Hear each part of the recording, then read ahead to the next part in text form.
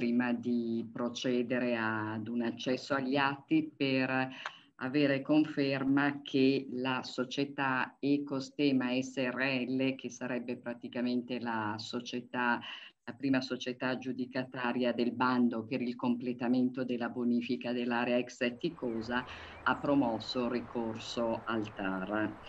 Quali sono i tempi per l'indizione della nuova gara?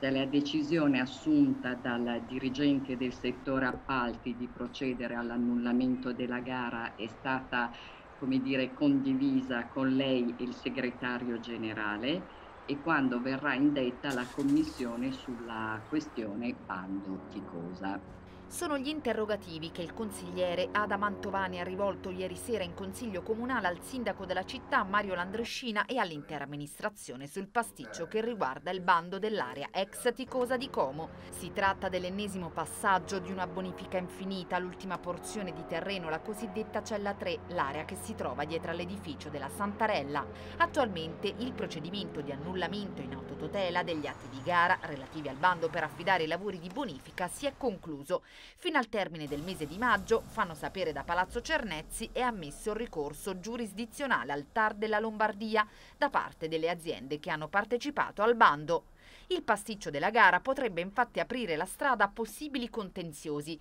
mentre in comune, tra accuse, errori tecnici, vizi di carattere sia formale che sostanziale, ancora non sono state individuate le responsabilità di un bando sbagliato. Errori che, come detto, hanno portato all'annullamento della gara da oltre 4 milioni di euro per la bonifica dei terreni dell'ex Tinto Stamperia, la cui conseguenza è evidente. Tempi e costi aumentati, un anno perso e ancora tutto fermo, con l'ennesima amministrazione di turno impantanata nell'annosa questione che riguarda l'ex Ticosa di Como.